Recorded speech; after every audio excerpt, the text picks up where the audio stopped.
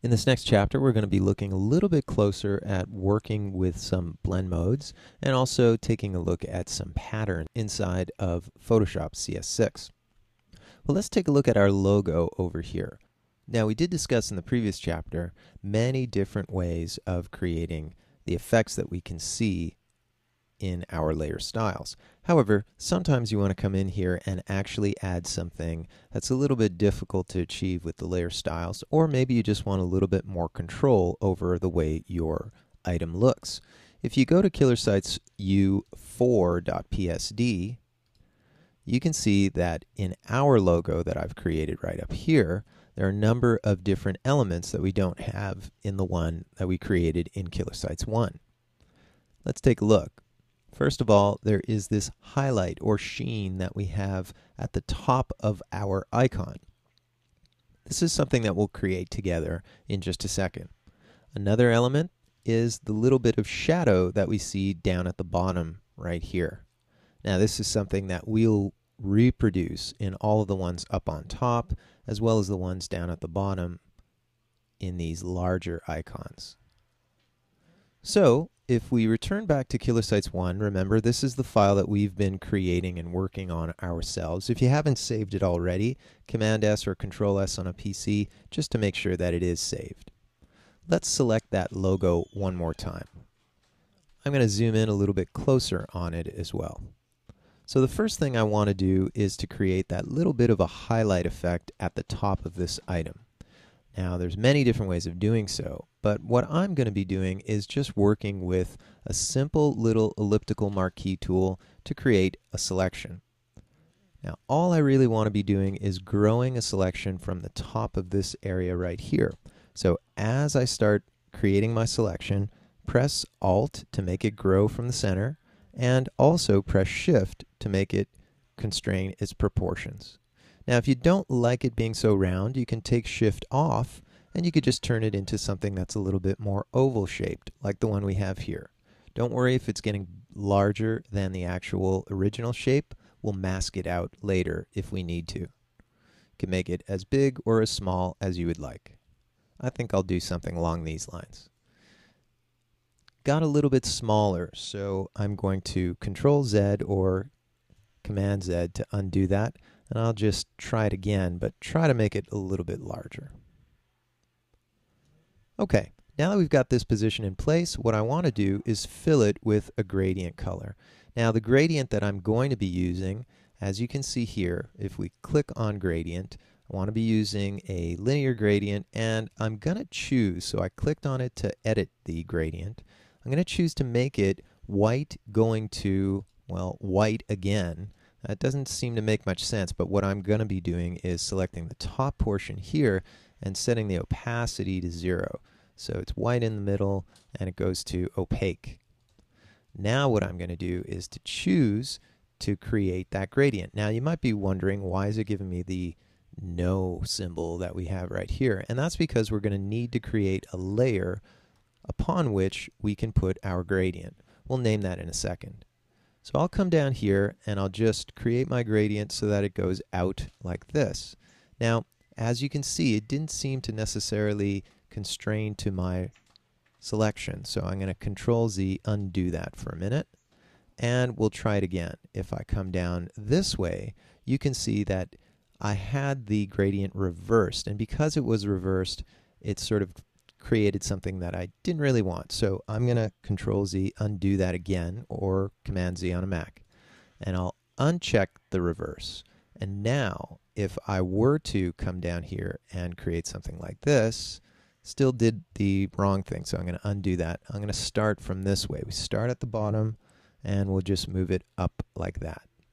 Now, I can also sort of move that around and do many different things with it. I can also start on the outside and move in like this, or I can move it down this way and create many, many different types of gradient effects. So it's really up to you to determine exactly how you want to do that. So I just undid that again a couple of times. And even if you wanted to reverse it and try it again like this, or if I undo that and try it again like this, let me undo that. Maybe I'll just start it over here and create less of the effect as we go out. So we've got this little line in place. If you press Control D to deselect, really all we see is this highlight of white. But notice, as soon as we come in here and we set the blend mode, notice where we're doing that. We select the layer, and under normal, I'm going to say something like overlay. And take a look. We've got a much lighter version of that green. It still doesn't give me the hard edge line that I want it to. So I'm going to undo that one more time. Let's try it again. Create another new layer. And this time I'm going to come in here with a rounded rectangle, or rather just the ellipse. So I'll come right around this point again. I'm going to press Alt, sort of drag that out this way. Now what I want to be doing is filling this with a gradient. So if I come in here, I can choose the gradient. And when we have a gradient like this one, a linear gradient, as you can see, I can also do the same thing we did before. I can change this to white, I could come in here and I could change its opacity to zero. So shape layers can have some really interesting opacity amounts that we can come in and give it. So notice that, it's kind of a hard edge going to transparency. So now that we've got that in place, I'm going to just make sure, just double click, make sure if we select that, that I have it in the right area. And I think what I'll do is just switch this around, maybe going this way. And I think what we need to do is really just switch the opacities if I wanted to get something like that happening. And notice, there we go. I've got this going in that direction as well. So check it out. By creating it in this fashion, what I've done is I've created a much more harder edge. So to this as well, if I double click it and I say shine, let's make the shine layer be in overlay. And that gives us a much brighter version. And still, when I click out, you can see that we've got this hard edge right there. So that's a really nice way of sort of applying white element. And when you're working with white, overlays, soft lights, will give you very distinctive and interesting effects. So that's a key common element that we can work with. So overlay and white always works really well. Now the last thing I want to be doing before we go to our next movie is just making sure that none of this circular element will show up outside of our particular icon. You could even move it down if you wish and sort of reposition it depending on what you need exactly You can nudge it with your arrow keys if that helps.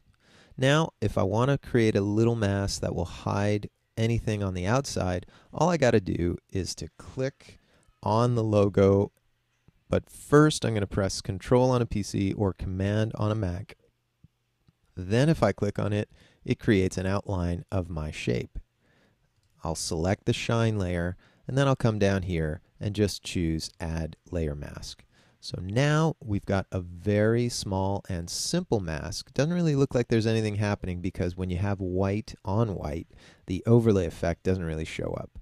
But if I were to change this, for example, to just normal, you can see that the effect is only inside of the shape. It's not on the outside. So that's a really nice way of doing that. You can experiment with things like vivid light, but it's not really what I want. Overlay, white, is great because what it does is it highlights the color that's underneath it and that gives us a nice little green effect right here.